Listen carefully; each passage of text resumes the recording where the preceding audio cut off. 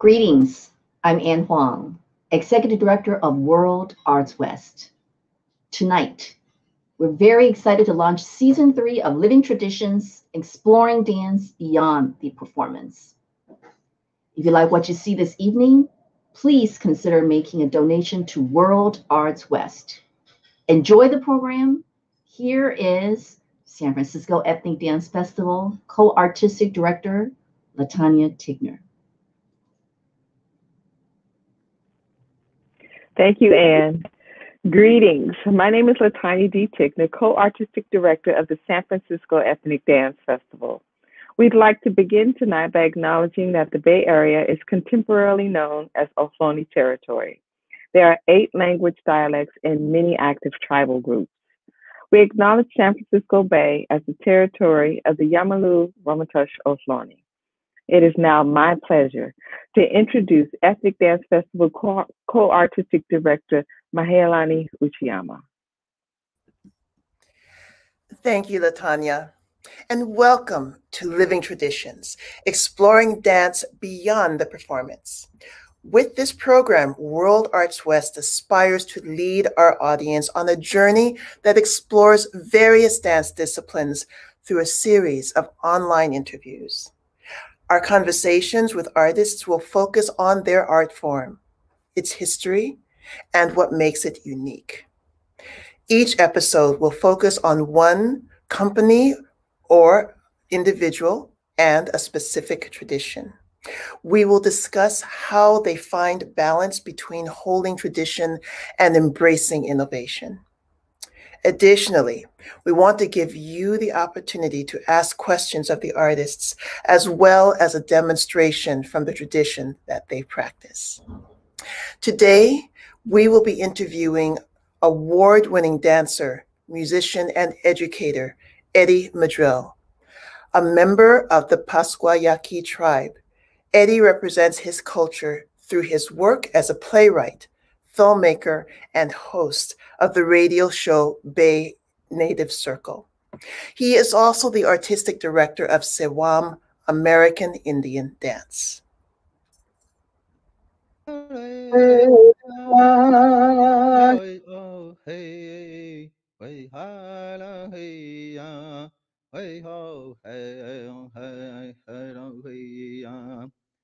Way ah hey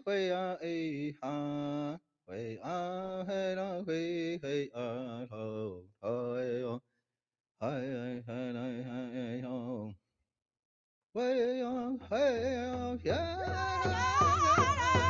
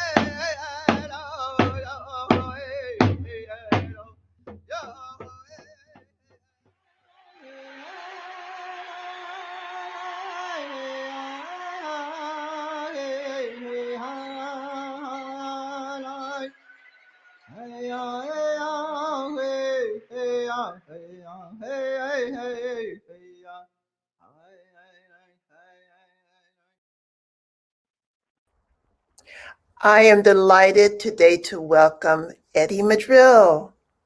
Thank you. Thank you, Latanya, and thank you, uh, Maham, and thank you to World Arts West and everybody there and all the different ethnic dance groups and dancers and, and uh, performers and musicians, everybody I like. So, uh, Leo Sanchanyevo, um, thank you for having me. Before we enter into our conversation, we'd like to encourage you, our audience, to consider a donation to World Arts West. And also, we would love for you to put your um, your questions in the chat so we can get to those a little later in the program. Thank you. First question. Hi, Eddie. well, hello. It's good to see you. Yes, fellow Libran. Um, uh, the first question, um, which is I think is, is very important, as we you know just had a chance to chat about, is like what does Sewam mean? Very good question. Um, it's funny because we travel around a little bit here and there, and nobody ever asks. They just want to see the dance, which is great. Which is great. I mean, there's a lot of different ethnic dance groups with very um, traditional names and uh, you know using words from their language. So Sewam is a plural form of Sewa, and Sewa is flower. So Sewam is flowers. And in our language, the Yaqui language, the Yoeme language, the Hiaki language, Hiaki language, um, it's Sewam. That means flowers. But we come our original people, the, the Surem, the little people under the ground, like little people in you know many places around the world, um, they come from different worlds. So we come from different worlds, and one of those worlds is the Sewa which is the flower world. We also have the Huya Ania, which is a, the, the enchanted world. So Sewa is flowers, and when we go to dance and we perform, what we really want to do isn't perform per se; it's to share, to bring awareness, and to bring empathy. Um, between cultures, not for us, but between cultures, whether it's ethnic, social, religious, uh, modern, whatever it may be. And so we believe that in what we're doing, we're trying, in, in essence, um, to use flowers, to use beauty to do away with the evil. And that evil can be interpreted as just, you know, uh, misconception, misunderstanding, um, uh, misinterpretation, uh, preconceived notion, all those different things, prejudice. So Sewam means flowers. Beautiful, beautiful. Uh, such a such a um, humanitarian way, you know, to address and to address uh, differences and conflict, potential conflict. Um, I have another um, question behind that in terms of like language mm-hmm. and the connection to the dance and the and the music and and what is that relationship in terms of like what you speak and what you sing, um, and sure. what you dance and what you dance. Ooh, how long do we have? We have less than an. Sorry. I mean, if we have a semester, that's good. But let me see if I can do it within a couple of minutes. Um, and you know, and that's and your question really comes from a place of, of sincerity for any, you know, almost any ethnic, you know, group, ethnic dance group, uh, traditional group. Um, you know, the words that are being sung, uh, especially for powwow, so a lot of what we do is powwow style dancing um, on stage and performance. Uh, many powwow style dances are what we can do socially um, without, you know, re- repercussion, without, uh, you know, uh, recourse, without um, offending. Many of the dances, almost 90 to 99% of the dances of American people, Native people, are ceremonial, so you're not going to see them, or they might be open to public, but not. I mean, it's really, really complicated. So with about 576 tribes now, and that number fluctuates. So I just say around 576 uh, tribes. You're talking about you know hundreds of dances, hundreds of songs, you know, close to 200 languages. But the language in any culture really. Um, is what represents your feelings. So you have ha, ka, ma, wa, all these ah sounds that come out from almost any language, almost, but many of the languages that I've, uh, I've been able to um, come across in meeting people in a humanitarian or human way, um, ah is a very, uh, uh, you know, it's a very um, spiritual sound. And when people come to a powwow and they hear that northern singing, you know, it's really, really loud and high pitched what they don't realize is that some people uh, believe that that music, that song, is the very first voice that comes from a child in, entering into the world. So in essence, every time we dance, we are re-emerging. We are Um, it's it's a it's a new world every single day. So it's like world renewal for the individual, and when we come together as a community, that's world renewal for the community. Um, and so the words are oftentimes uh, poetic, spiritual. Um, they, they represent our environment, and our environment tells us what we're going to wear, what we're going to eat, um, how we're going to celebrate, how many, you know, uh, what kind of clothes we're going to have. And that environment exists around us, above us, and below us. So our outfits, everything that we wear comes from our environment and represents the environment in essence. So a lot of the geometric shapes that come from basket weaving or beadwork, geometric shapes aren't just a bunch of triangles. They represent mountains, clouds, insects, you know, uh, lightning. I mean, all these different things. Um, and so in, in, in answering your question about language, you know, the, the, the complexity and the conflict between two worlds 500 years ago or now is how we use a language like English to define and describe our relationship amongst each other because we have to. It's the, the national language, let's say.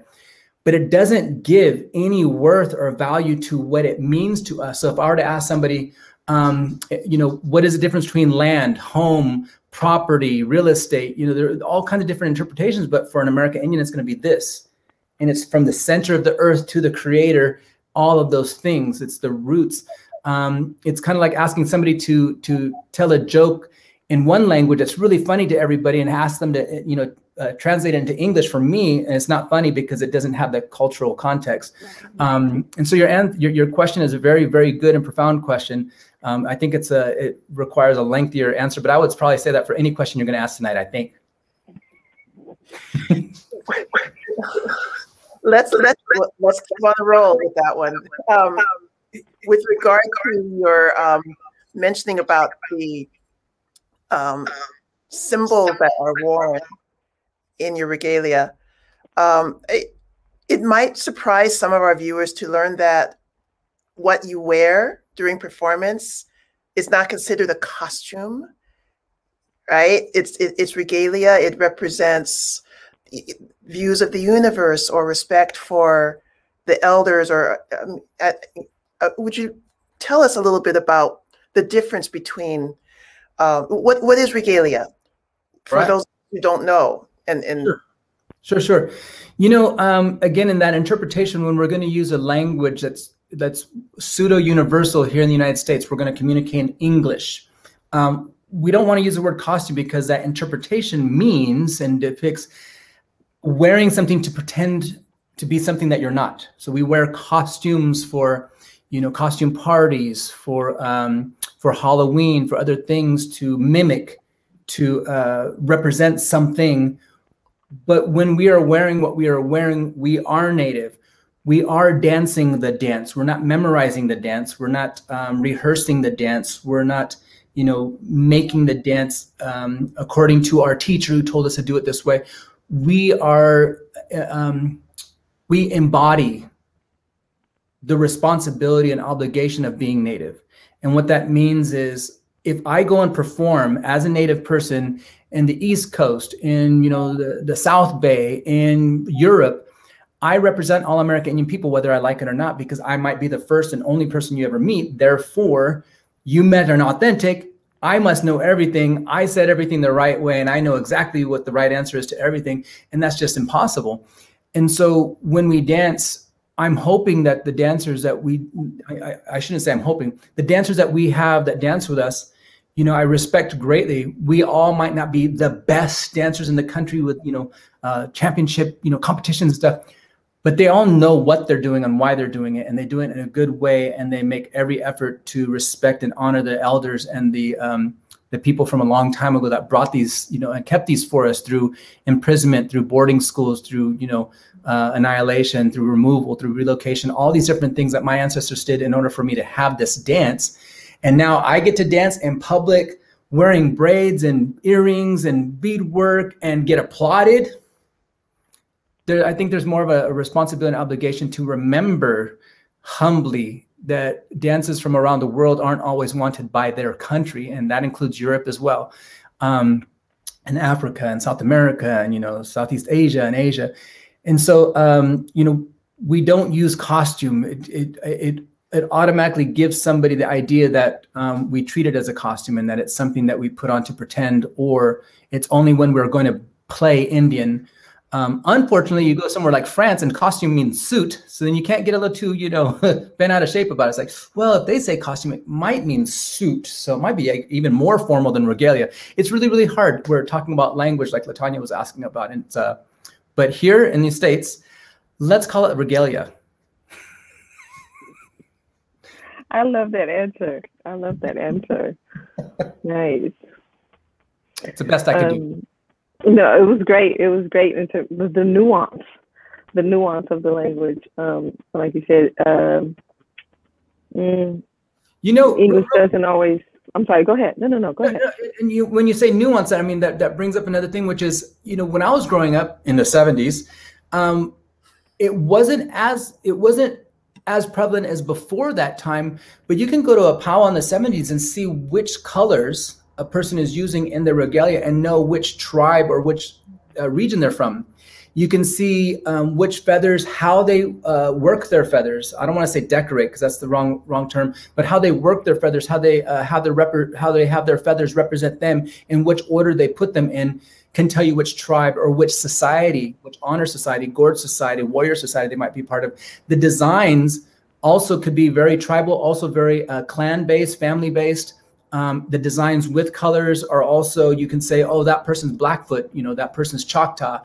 Um, and they come from this uh, clan or this family and that you know um, they're they're medicine people. I can tell by these certain symbols they're medicine people. They're they're to be highly regarded. Um, so the nuance just it, it's it's i don't want to say never ending but it keeps going and going. Mm-hmm. that's it, wonderful. It, yeah. it, it, so it totally reflects the the concept of the universe in, in, in, in a lot of ways, yeah? The, the yes. environment that one occupies and what, what is available. Yes, absolutely. I mean, again, I, I'm going to keep saying this. I'm going to try not to say it all the time, but just like many cultures around the world, maybe that'll be the last time I say it. I think we got it, right? We didn't have books. We didn't have um, these written things to tell us what to do. You lived it. So you know, religion is what you lived, education is what you lived, uh, agriculture is what you lived, hunting is what you lived, um, geology, geography, all those things you lived. So they were in the stories, they were in the songs, they were in the dances. Everything was story. They were in the designs. I mean, everything was education. So kids didn't go to school. They didn't have some kind of formal written, you know, textbooks. They didn't have any of these things but you could I mean, it's just like you know learning fables or um, uh, parables and things like this uh, poetry um, you know the the, uh, the, the brothers grimm stories you know all these different things. There's information in all of these things but we tend to just kind of uh, reside to the surface level information and say i know those stories i got it. Canterbury tales i got it. African dance i got it. You know yeah i've seen it. But then there's the underlying depth of the unobserved aspect of culture, the unobservable aspect of culture, when you see the fantastic spectacle, when you see the awesome dancing up on stage or at a ceremony, what you don't know is that the ceremony's been going on for six months already. You just didn't see that part. It's been going on for 48 hours already. You just didn't see that part because what you want to see is the fantastic. The preparation isn't so fantastic, but that's the most profound or that's the most meaningful. Um, you know, here we have our, our lives in the city or in the country and you know we're working on this and working on that. Everything's a profession and art and stuff. And we forget that the most important thing that we can do is drink water. And we, we and take care of it because we need to drink it. And we forget that water is is as i said you know water is life. So it's sometimes the most simple things that uh, we forget. And i think that's what's beautiful about uh, you know traditional dance.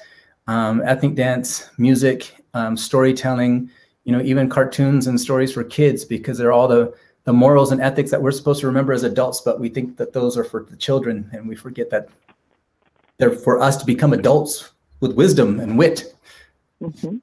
Beautiful. That, yes, that reminded me as you were speaking. Um, uh, you when you talked about um, things happening long before you witnessed the spectacle of it, mm-hmm. and and that speaks to ritual. You know, the rituals of the the things you know we experience on the on as a part of our daily lives in terms of like the culture and the unseen and the um the depth you know the ritual of that takes a long time to get to the that moment you discussed right? And um and it's very valued it, it reminds me of the um you know the the process over product right you know you're in that that ritual is the important part. The product, you know, at the end of it, yes, but it's like going through that process is what uh, the you know sustains and maintains the culture. Um, so thank you for that. Yeah, and, and you guys know that in the Ethnic Dance Festival auditions, you know, the, the the panelists are given information, and what the audience doesn't see is okay, these outfits, these costumes, this regalia was handmade in this island over in you know the Philippines by certain people that were designated to and the and then it came over here. And I mean all the things and like you said even the preparation it came here partially done but the people here had to also put their hands into it so that everybody's hands and layers of of worlds and layers of you know generational ages and things like that are all put into the outfit so that when they dance they're not representing the movement they're representing the culture that's embedded within what they wear, which is very soulful. And you can't perform soulful that an audience who's not familiar with dance can actually take in. An audience that's not familiar with dance wants to see the dance. And so the holding still really slow for some dance groups or individuals. Everybody's like, what is that? And you're like, if you're a dancer, you know that's hard. mm-hmm. You know, mm-hmm. um, it's just that language. Uh, it's it's like the professional or academic language. You learn everything about you know science or you learn everything about art, but it's a whole language that you learn. Yeah. Beautiful. Nice. So, how is it for the community now that we're entering into uh, our second year where uh, powwows are being uh, canceled, events are, are not happening uh, for a community that, um, for all of our communities. We're, we're, we're so needful of being with one another. What what can you speak to about what's happening with the community?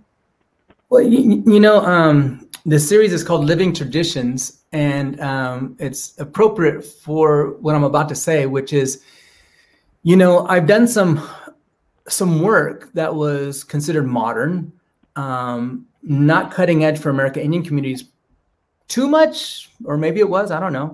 Um, but you know, having a traditional outfit with you know lights on it, having a traditional outfit and doing traditional dance, but to like you know uh, EDM music, right? Uh, DJ music on stage at a music festival. Why would you do that? Um, and it's a longer story why I agreed to to to dance, you know, on a big music festival stage. I mean, it took a long time and it did take a lot of prayer. Um, and many people could tell you that I was calling them, going, "I need to talk to you." Um, but there's a reason why you know that's done, and it's because you know many people when they're looking for the American Indian, and you show up looking like me right now, and you know a t-shirt and hair, yeah, slick back, and I'm, I'm in a, a garage dance studio. That's not Indian enough. I need I need what I'm used to, and what people are used to is what they're given, and what they're given when they're not looking for it is what's in the in the school books or the history books. So the authentic Indian to many people is the one that's from the 1800 for you know 1800s you know photographs. But a living tradition is what changes all throughout time. I mean when we take a look at american indian people and today and say well you know that's not traditional. It's like well what you consider traditional 100 years ago wasn't traditional and what they were doing 100 years ago wasn't traditional before that we're wearing you know in this image right here you see you know cotton satin silver glass beads um, you know uh, yeah, a lot of that kind of stuff. And you know, beads weren't necessarily traditional. Uh, you know, beadwork wasn't traditional. Satin wasn't traditional. You know, satin ribbons weren't traditional. But we we take them in. We make we. It's kind of like acculturation, right? We take some ideas that we like and we choose to go and take these things on because they're part of our environment. And if what I said earlier is that everything that we do represents our environment and it's a constant story, that means that for many tribes, even their origin stories that they would tell today would include a cell phone. People don't want to hear that. They're like, but I want the traditional American Indian story from, you know, long ago and, you know, and all the, it's like, but we're still alive and we're not living in the past. We live now. And it's a, as it says up here, oh, there, living traditions. And so to answer your question, we've had virtual powwows online people coming in and everybody's you see some of your friends in the videos and we're going to a powwow that somebody hosts and how they host it it's up to them sometimes it's pretty cool sometimes it's but you know we're folks um, but we've even i've even gotten dressed with my family my, my wife and my daughter and we've danced in our living room watching our brother you know my brother and his wife and his daughter dancing. And we had our, just a mini powwow between ourselves because we need to dance. Sometimes you can go to people who are in medicine um, you know, MDs and uh, homeo, you know, homeopaths, others that would say, why are you doing these things? Why do you have these ailments and things like that? When was last time you danced? Because we know you're a dancer. I'm like, it's been a year and a half since I've danced. They're like, I think you need to start dancing again. Uh, it's kind of like athletes who run 10 miles a day and then autom- autom- automatically quit and they don't run the 10 miles anymore and then they get sick. They have something that happens to their body. So our bodies are shaped by what we feed it, what we feed it, and how we practice using our bodies um, mentally, spiritually, physically, all the things that te- seem to be catchphrases in the past 10, 20 years about uh, life, body, spirit, mind, something, I don't know, they're, they're always different ones.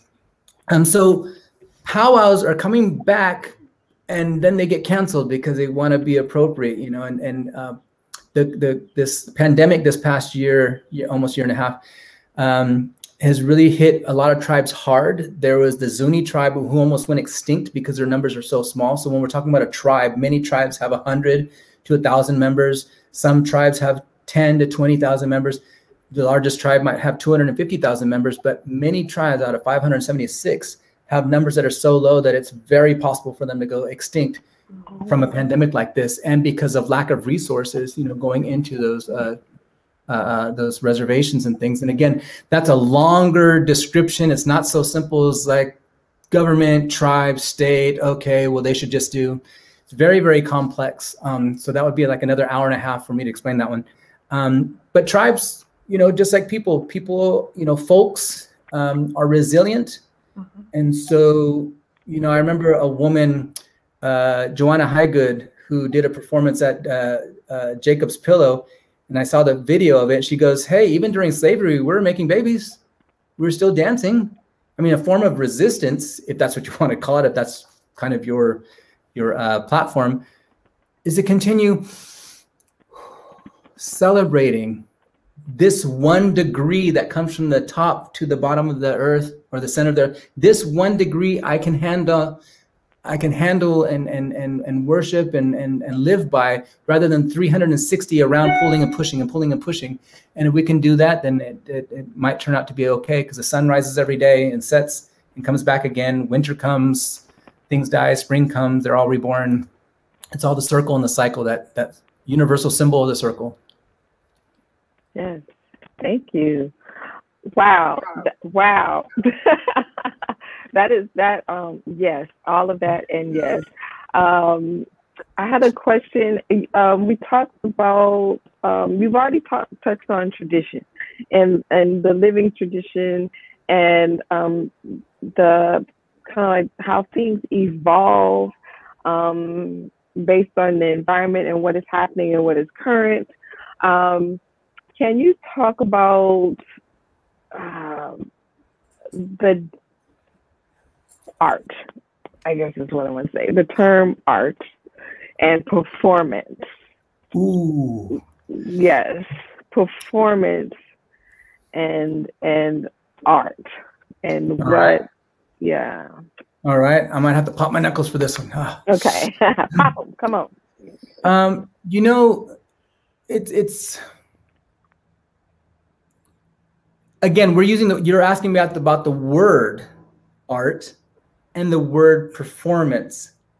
And the academic in me wants to be like, mm, we're going to de- deconstruct these words and etymology and, um, you know, this is going to sound like I'm the uh, like the cliche bumper sticker Indian that says life is art.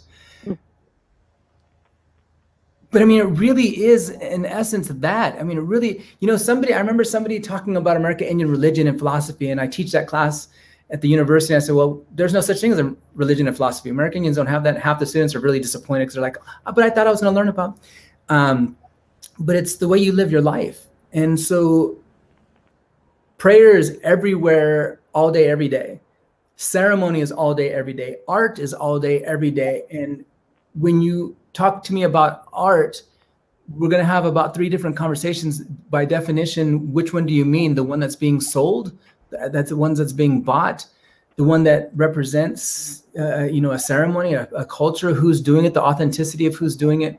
Um, there, there's there's so much that's in the living tradition. Again, your your title is was is perfect because it's a living tradition. Um, the performance, it's it's it's a performance that the audience sees, but it's ceremony that the dancers doing on stage. And so, you know, many people who've gotten to know me backstage, you know, I'm in prayer, you know, even for those music festivals, I was in prayer, you know, beforehand.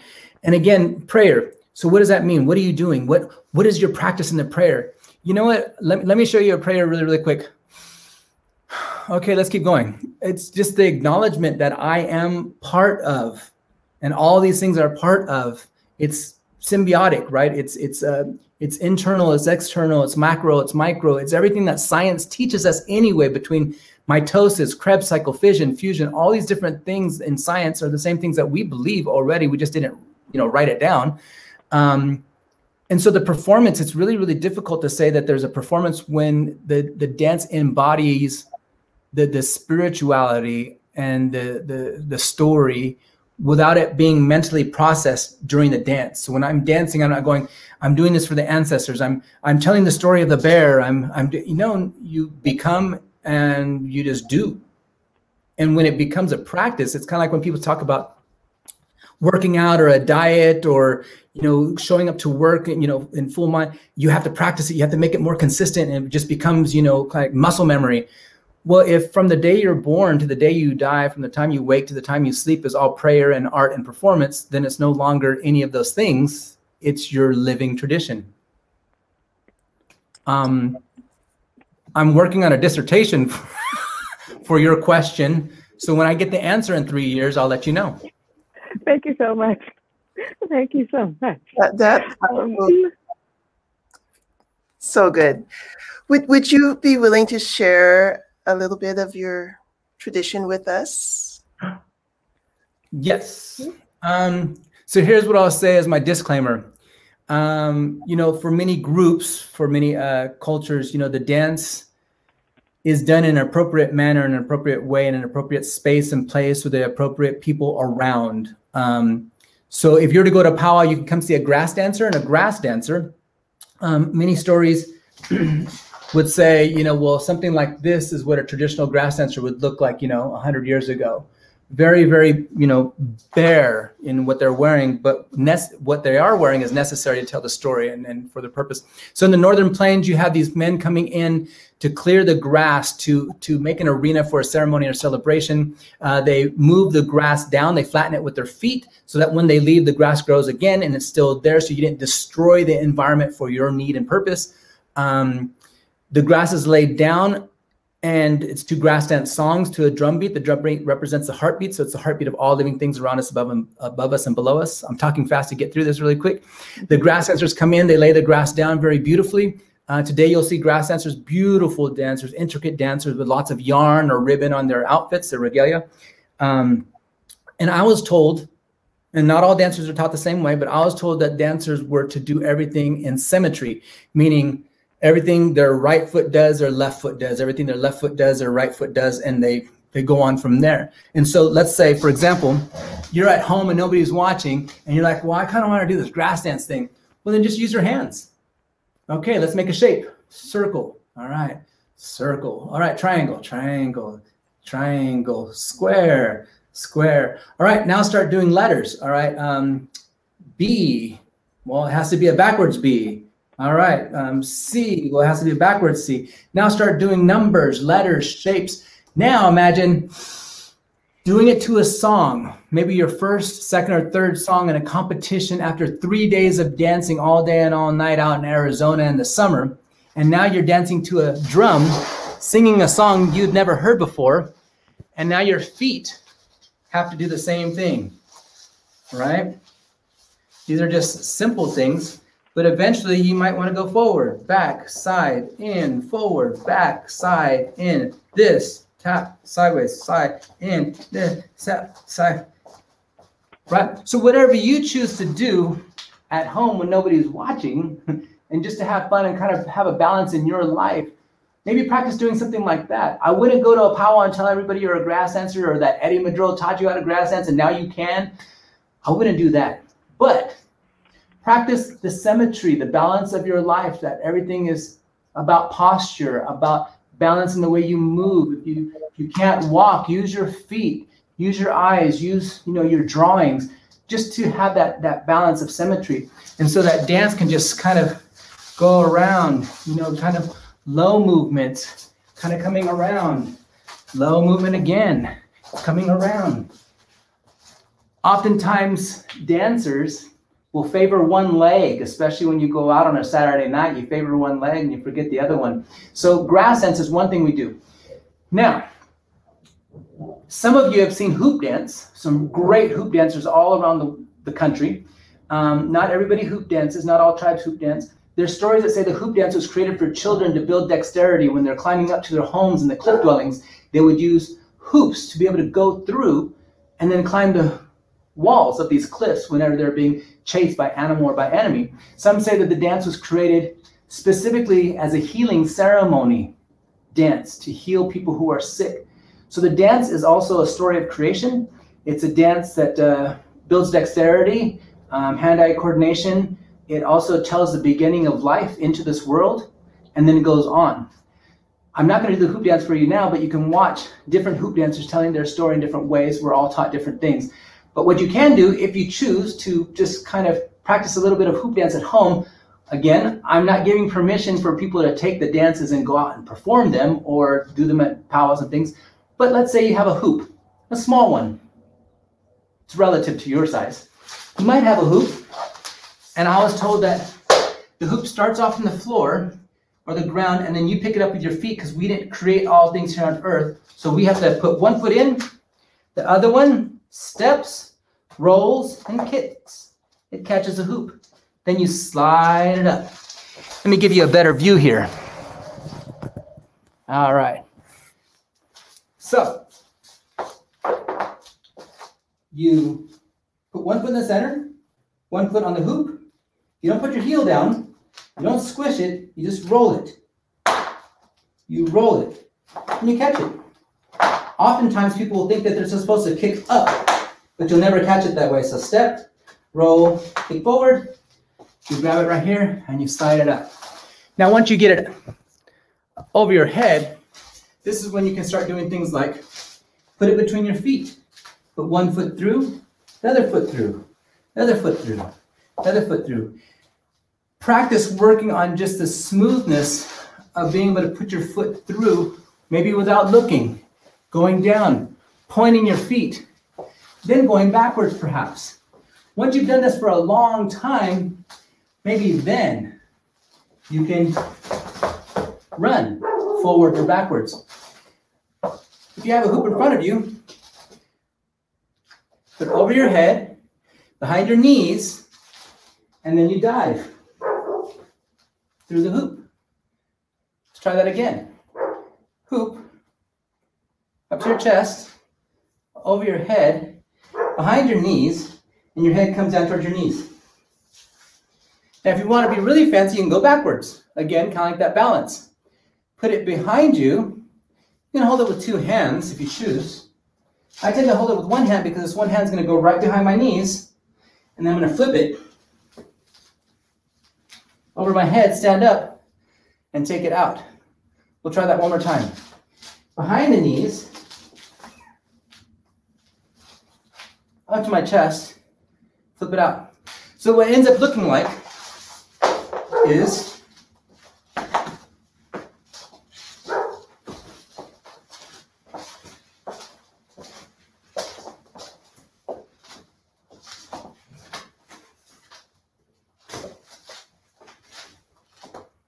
And there you go. So that's one way of doing hoop dance as far as picking it up from the beginning and then going from there.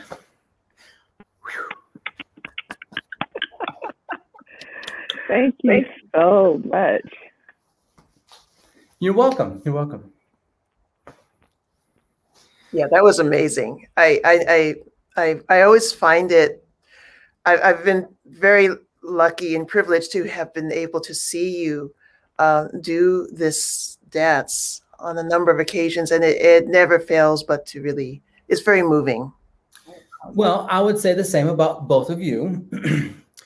Dancers who bring the spirit and the culture and the tradition and the heritage and the history and the future of that dance onto the stage and just, you know, a dancer doesn't have to be so dynamic. A, dancer, a, a dancer just has to be dynamic. And so, you know, I think through the, the teachings of my elders, my very tough parents, my other tough parents and my other tough parents and grandparents and aunties and everybody who's watching because your culture your your whole people your whole community watches you know from a distance and hears and watches and hears. And so social media was taking place way before electronic social media. And so everybody knows whether or not you're doing the right thing and you get to you go through different stages in your life when i was eight learned i was native started dancing woo started dancing really good, woo, started winning competitions, woo, and then you have to look back and go, wait, what am I doing? Why am I doing this? And start realizing a little bit more about not just the Indian, but your tribe and your tribal ways. And then you start, you know, it's just the process you start learning. It's like being an intern in life and then start learning a little bit more and a little bit more and a little bit more throughout. So, yeah. Thank you. We have a question from um, Baba CK. Uh, Baba CK says um, he's in, he's encountered more often the question of cultural appropriation in social media whenever um, he's posted a video that may include a diverse population. Do you encounter the question of cultural appropriation and how do you deal with it? Whew. Um, man, you know, cultural appropriation is kind of a, a, kind of a one of those. I don't want to say catchphrases right now. It's kind of I don't want to say trending either. It's been around. It's just that it's more prevalent now. Um, it's the first thing that people go to, you know, when when you're and it's kind of like when it's a kind of a trigger reaction. You know, when I danced on stage at a music festival, um, it was a long process, and I mean, and one of I mean, there's there were so many reasons why I didn't want to do it. I don't want to go dance at you know Coachella or Lollapalooza. Why would I be doing that to DJ music? But you know, the DJ was a uh, is is native and uh, Native Hawaiian, Native American, uh, Native Filipino, and um, you know, I, I my my first reaction was no, there's no way because that's the one place that people can't stand if you're Native because of all the people going with headdresses and this and that and.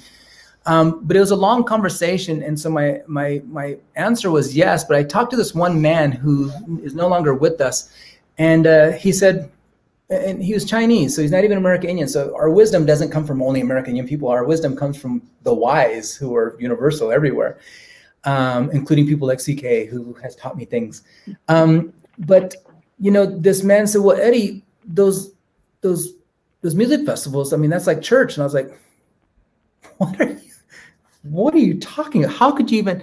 Of course, I didn't do that. I just went like this, mm-hmm, and he just listened and so those are a bunch of young people coming together to congregate to, to feel good. They might not be making a lot of the best decisions, but they're going there for the purpose of feeling good. So in a sense, that's like church. They're going there to feel good, and you're going to go there and make them feel good. And they're going to have questions. They're going to learn about you and learn about American people. And you know, and I asked the DJ, I said, hey, you know, if anybody starts asking you, you know, what was that and why that and this, I said, you have them ask me. You know, you don't you don't answer that question. You know, you answer questions about their music. I'm the dancer. You have them ask me. So cultural cultural appropriation, I think, is just that that instance when you do something or when you see somebody doing something um, that is stealing. I mean, cultural appropriation is in, in in all intents and purposes stealing because you're using something without permission. And, and permission isn't just something that is given. I mean, you know, I might teach American Indian Studies at a university, but that that shouldn't make the students trust that I'm the right American Indian person to be studying or, or, or teaching American Indian studies. And it almost seems contradictory, but here's the thing: not all American Indian people are, are, are great and good and perfect. Nobody from any culture, you know, can say that all people from that culture are good and and I think some people have this this preconceived notion that American Indians are so beautiful and they're all you know great, but there might be some wrong ones And what if I'm that wrong one teaching this class? Because I've seen people teaching a class, I'm like, they're native, but they're not saying the right thing. They're not, how do you, what do you do? Um, so cultural appropriation gets sticky, but when it's very apparent and overt, I mean, you have to call it out. Otherwise, it's somebody who gets away with something. And we're learning a lot about that these days. You can't just do something and say, well, everybody else has gotten away with it for a long time, so why can't I? Um, so that being said, CK, uh, it, it, it, it's kind of a, a base, you know, it's on a, a, a basis to basis. What do you call that? Um, it's on a case by case. There we go, a case by case scenario. Because uh, there's so many things, like we were talking about nuance earlier. It, it can be really complicated. Um, I have to just, I have to, as an academic, I have to sit there and just ask more questions: who, what, when, where, how, why, and then ask all those questions again one or two more times. Yeah, that's awesome. Yeah, no, that that makes a lot of sense. Um, we we have another um, comment question from Fabricio Breeze Olson. And says, Love you, Eddie. Mahalo and aloha from Saki, Breeze, and Tandy from Santa Cruz. You are light and brilliant. This evening has been a joy. What is next for you or your company? Anything we can witness or join? Oh, well, um, Leo Sanchanyavo to all of you um, and your family. So, Chokuetesia, Chokuetesia, Chokuetesia. Uh, thank you, thank you. I never know. Um, you know, recently we had to put our performances on video um, for some of the theaters, and, and uh, that, that we had, you know, we had already booked to do performances, live performance for school kids, for families, um, and so we had to, you know, coordinate it into a video. Um, right now, it would just be a matter of of waiting to, you know, for the next Bay Area powwow. We tend to go to those a lot. So if you ever see me, just come by and say hi if I look like I'm, you know, not paying attention, it's because I need to be paying attention to what's happening in the powwow because something might be taking place that I need to go attend to. But other than that, um, you, if you see me here, I'm a, this is my close up. Come say hi um, and tell me how we met. Um, but no, I don't know. You know, it's, it's, it's always best just to look up, you know, sewamdance.com. Um, we're not always, you know, doing things for the public. A lot of times it's for, you know, um, you know, schools. So we can't invite people. We don't do a lot of stuff um, on big stages all the time. Um, so, you know, find us there, check us out, and, and, go support all. You know, go support all ethnic dance. You know, support living traditions, support World Arts West, and you know, you can always uh, look through them uh, to find out more stuff that's happening. Um, yeah, I, I, never know.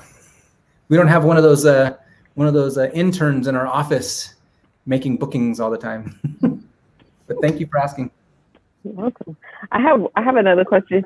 Earlier, you did a couple of gestures um, when you were speaking. Can you speak to that and like how and, and how and if they're used within the dance form? Wow, Latanya. No. You know, amongst Native people, we tend to joke about, oh, hunter gatherer. You must be a hunter gatherer. All right. So with you know with close to 200 languages in the in the central plains especially but in other places across the country there is sign language and uh, depending which tribe you are you might have a different symbol for like let's say this is friend this is me and a friend walking through life in another tribe it might be you know close together you know they're they're together like this but the sign language um, is a way that people would communicate when they saw each other when they were crossing paths perhaps or traveling on the same trails when the buffalo moved and the people would move with the buffalo, they didn't always have horses, so they would still move their teepees, but teepees were shorter. So when we see teepees today going, well, how'd they move those huge things before the horse? Well, they weren't huge; they were smaller. They didn't they didn't need to. Um, but sign language, um, it, it, it's utilized. It was utilized a lot. Um, it was taken down in late 1800s. I think around eight, between 1885 and 1887 is when the federal government had a lot of people going out, like ethnographers to study everything about Indians they could because, well, it was expected that we were all going to be gone by 1900. So they were out, you know, getting all the photographs they could, getting all the ethnographers to study our language, our sign language, our diets, our games, or you know, everything.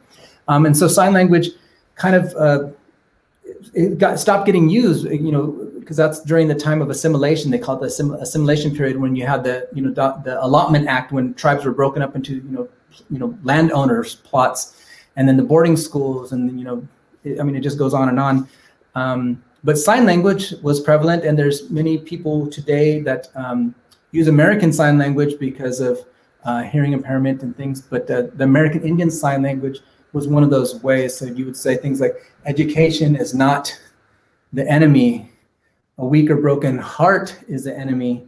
Stay strong in your love to the Creator, and you will be strong forever. Wow. I I could I, I really wish we could just keep going for like another like week. Three days. But um but I think we we um we should probably think about wrapping this up. But Eddie, I cannot thank you enough for for being here and for your energy and your love and you know all the things that you are. Um, you're very precious, and thank you so so so much for being here and sharing on living traditions. All my love to you both and everybody thank there you. at Polar West, keeping keeping things going through a tumultuous time. Um, so thank you, Chokwatesia, Chokwatesia, Chokwatesia to all, everybody, everybody watching, you know, taking your time to, you know, come and watch and uh, learn from different people. Uh, tonight, me, but uh, and other series and other uh, episodes, different uh, culture bearers. So thank you to all of you for inviting me and and uh, trusting that I'd come here to bring something to all of you. So thank you and thank you. Thank you. And I'd also like to thank our viewers for joining us today and uh, to those who submitted questions. And um, before I um, uh, reintroduce our, our executive director, Anne Huang, I would just like to mention that we are going to be back again on the third Tuesday of May at 7.30 with another episode of Living Traditions. So thank you again uh, on behalf of my, my esteemed co-artistic director, Latanya Tigner. Uh, I'd like to uh, bring back Anne Huang. Wow. Um, thank you. Thank you so much, Eddie. Thank you so much, Mahea and Latanya. I, I too wish that we could go for an entire week. This was so informative. I took lots and lots of notes. it was just so, so, um, so amazing. Um, for everybody who's watching, if you do enjoy this program, please consider making a donation to World Arts West. Um, like Mahea said, said, we will be back again in May. And please go to worldartswest.org to sign up on our mailing list for further information. Thank you so much for tuning in tonight, and we will see you again in May.